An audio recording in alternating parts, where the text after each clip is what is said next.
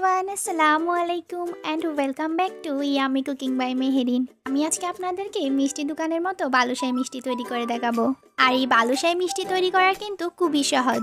আর এটা যদি আপনারা সঠিকভাবে তৈরি করতে পারেন, তাহলে কিন্তু দোকানের মিষ্টি থেকেও এর স্বাদ কিন্তু দ্বিগুণ হয়ে থাকে। আর এই মিষ্টিটা তৈরি করতে কিন্তু খুবই অল্প উপকরণেরই প্রয়োজন হয়। চলুন তাহলে কীভাবে এই মজাদার বালুশাই মিষ্টিটি তৈরি করতে হয়, শিখে নিয়ে যাক। প্রথমে নিয়ে নিচ্ছি আমি এখানে ময়দা। আর আমি এখানে ওয়ান এন্ড হাফ কাপ ময়দা ইউজ করেছি। তারপর দিয়েছি সামান্য পরিমাণে বেকিং সোডা। অনেকেই মনে করেন বেকিং পাউডার এবং বেকিং সোডা কিন্তু একই জিনিস, কিন্তু এই দুটি জিনিস একই না, আলাদা। আর আমি আজকে কিন্তু বেকিং সোডাই ব্যবহার করছি। সাথে দিয়েছি সামান্য পরিমাণে লবণ। আমার কাছে শুধু মিষ্টিটা অতটা ভালো লাগে না, তাই আমি সামান্য পরিমাণে লবণ ইউজ করেছি। এবার আমি হাত দিয়ে একটু ভালোভাবে মিক্স করে নিচ্ছি। এবার আমি এর মধ্যে দিয়েছি ওয়ান ফুট কাপ ঘি। চেষ্টা করবেন ঘি দিয়ে তৈরি করতে।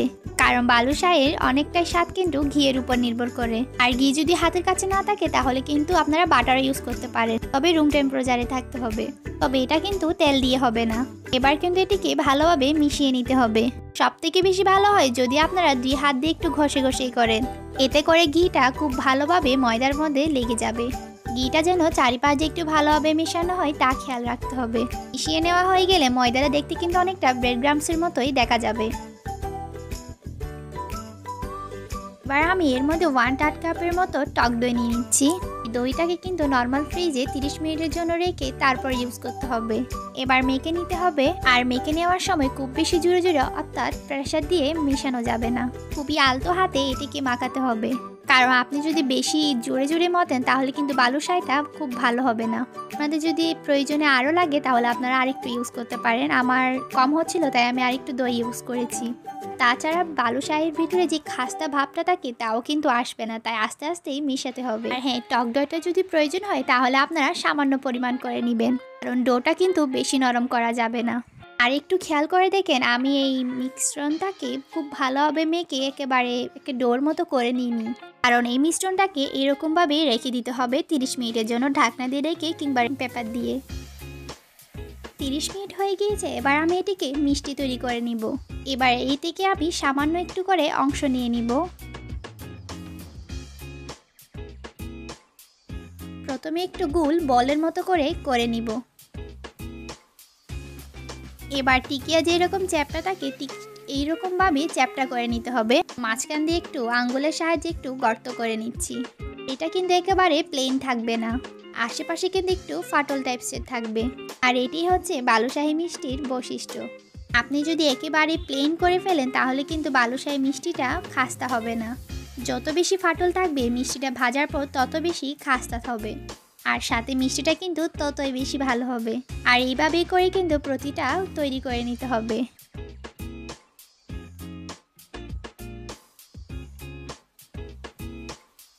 ঠিক একরকমভাবে আমি অন্যান্যগুলা তৈরি করে নিয়েছি। আর আমার এখানে বারোটি বালুশাই মিষ্টি হয়েছে। আপনারা চাইলে এর থেকেও একটু বড় করে তৈরি করতে পারেন। এবার আমি অন্য সাইডে চিনির শিরা তৈরি করে নিব। এর জন্য আমি এখানে নিয়ে নিয়েছি এক কাপ পানি এবং সাথে নিয়ে নিচ্ছি এক কাপ চিনি। তো এক কাপে চিনি রয়েছে।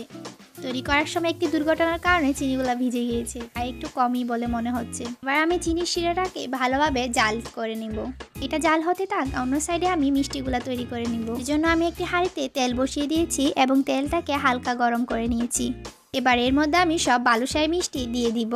আর চুলা আঁচটা কিন্তু একেবারেই কম থাকবে। কারণ যত বেশি আস্তে ভাজবেন, তত বেশি মিষ্টির ভিতরটা খাসতে হবে।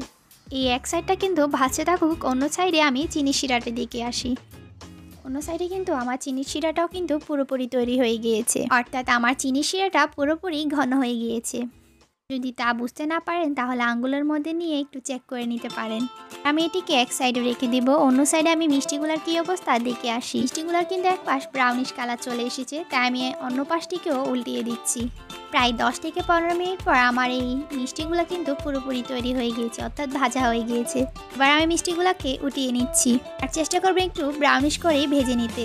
শিরায় দিলে কিন্তু অনেকটা ডার্ক হয়ে যায়। এবার আমি এই মিষ্টি এবং শিরাটাকে সামান্য পরিমাণে ঠান্ডা করে নিব। যখন ঠান্ডা হয়ে যাবে, আমি এর মধ্যে শিরাগুলা দিয়ে দেব। এবার আমি এই মিষ্টিগুলোকে শিরার মধ্যে রেখে দেবো ঠিক দশ মিনিটের জন্য। দশ মিনিট পর আমি মিষ্টিগুলাকে উল্টিয়ে দিচ্ছি, যেন প্রতিটা মিষ্টির গায়ে শিরা লাগে এবং মিষ্টির ভিতরে শিরাগুলো ঢুকতে পারে। এর মাঝে কিন্তু আমার অন্যান্য মিষ্টিগুলাও তৈরি হয়ে গিয়েছে, তাই আমি তাও ঢেলে দিয়েছি। এবার কিছুক্ষণ পর পর আমি এপাশ ওপাশ উল্টিয়ে দিব।